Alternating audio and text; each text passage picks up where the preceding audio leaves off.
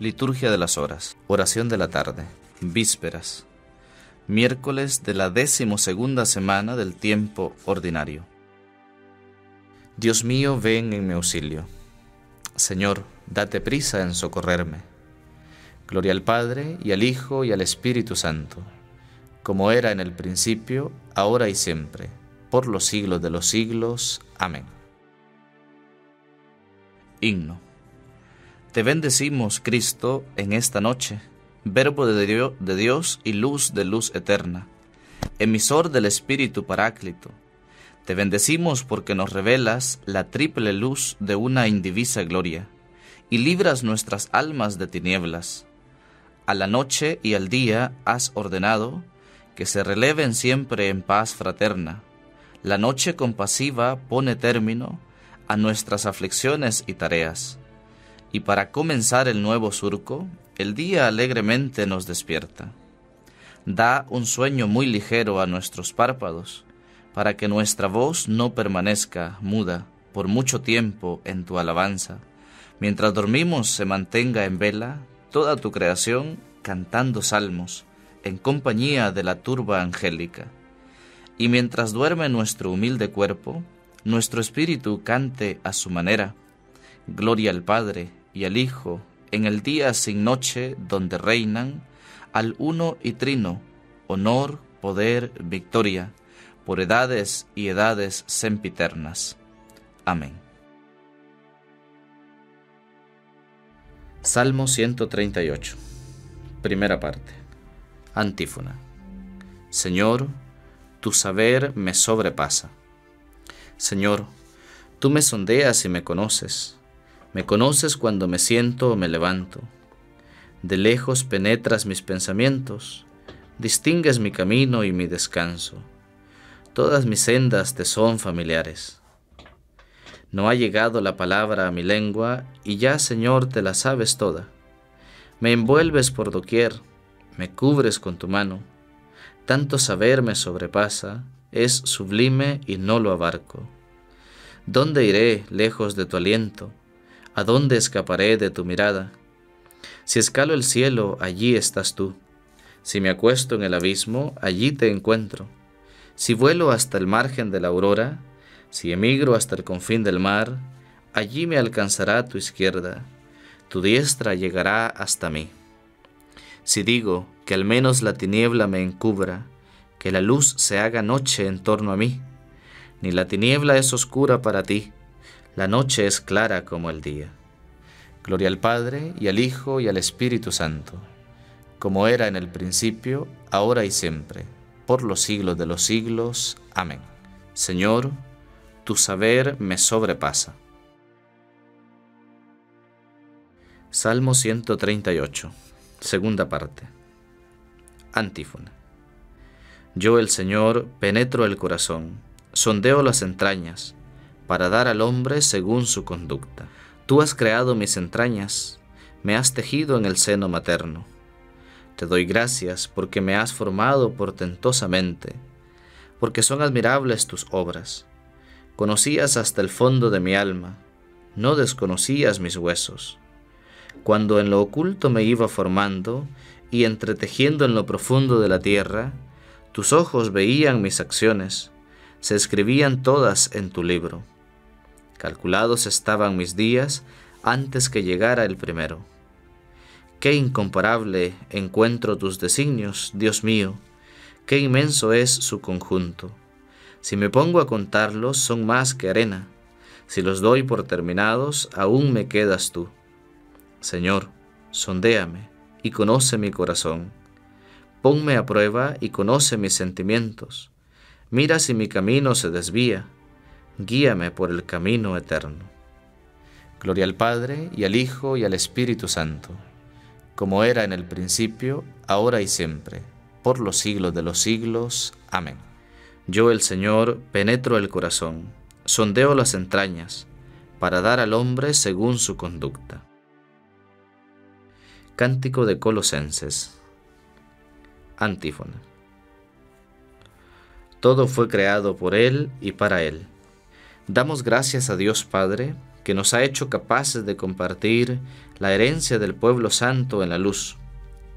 Él nos ha sacado del dominio de las tinieblas y nos ha trasladado al reino de su Hijo querido, por cuya sangre hemos recibido la redención, el perdón de los pecados. Él es imagen de Dios invisible, primogénito de toda criatura, pues por medio de Él fueron creadas todas las cosas, celestes y terrestres, visibles e invisibles, tronos, dominaciones, principados, potestades, todo fue creado por Él y para Él. Él es anterior a todo, y todo se mantiene en Él. Él es también la cabeza del cuerpo de la iglesia. Él es el principio, el primogénito de entre los muertos, y así es el primero en todo. Porque en Él quiso Dios que residiera toda plenitud, y por Él quiso reconciliar consigo todas las cosas, haciendo la paz por la sangre de su cruz con todos los seres, así del cielo como de la tierra. Gloria al Padre, y al Hijo, y al Espíritu Santo, como era en el principio, ahora y siempre, por los siglos de los siglos. Amén. Todo fue creado por Él y para Él. Lectura breve. Primera carta de San Juan capítulo 2. Sabemos que hemos llegado a conocer a Cristo si guardamos sus mandamientos quien dice yo lo conozco y no guarda sus mandamientos, miente, y la verdad no está en él. Pero quien guarda su palabra posee el perfecto amor de Dios. En esto conocemos que estamos en él. Quien dice que está siempre en él debe andar de continuo como él anduvo. Responsorio breve. Guárdanos, Señor, como a las niñas de tus ojos. Guárdanos, Señor, como a las niñas de tus ojos. A la sombra de tus alas, escóndenos, como a las niñas de tus ojos. Gloria al Padre, y al Hijo, y al Espíritu Santo. Guárdanos, Señor, como a las niñas de tus ojos. Cántico Evangélico. Antífona. Haz, Señor, proezas con tu brazo dispersa a los soberbios y enaltece a los humildes. Proclama mi alma la grandeza del Señor. Se alegra mi espíritu en Dios mi Salvador, porque ha mirado la humillación de su esclava. Desde ahora me felicitarán todas las generaciones, porque el poderoso ha hecho obras grandes por mí. Su nombre es santo y su misericordia llega a sus fieles de generación en generación. Él hace proezas con su brazo, dispersa a los soberbios de corazón, derriba del trono a los poderosos y enaltece a los humildes. A los hambrientos los colma de bienes y a los ricos los despide vacíos. Auxilia a Israel su siervo, acordándose de su misericordia como lo había prometido a nuestros padres, en favor de Abraham y su descendencia por siempre. Gloria al Padre, y al Hijo, y al Espíritu Santo, como era en el principio, ahora y siempre, por los siglos de los siglos. Amén. Haz, Señor, proezas con tu brazo, dispersa a los soberbios y enaltece a los humildes. Preces. Invoquemos a Dios cuya bondad para con su pueblo es más grande que los cielos, y digámosle, que se alegren los que se acogen a ti, Señor. Acuérdate, Señor, que enviaste a tu Hijo al mundo no para condenarlo, sino para salvarlo.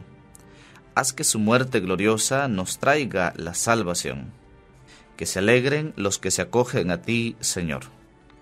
Tú, que constituiste a tus sacerdotes, servidores de Cristo y administradores de tus misterios. Concédeles un corazón fiel, ciencia abundante y caridad intensa. Que se alegren los que se acogen a ti, Señor. Tú, que desde el principio creaste hombre y mujer, guarda a todas las familias unidas en el verdadero amor. Que se alegren los que se acogen a ti, Señor haz que los que has llamado a la castidad perfecta por el reino de los cielos sigan con fidelidad a tu Hijo. Que se alegren los que se acogen a ti, Señor.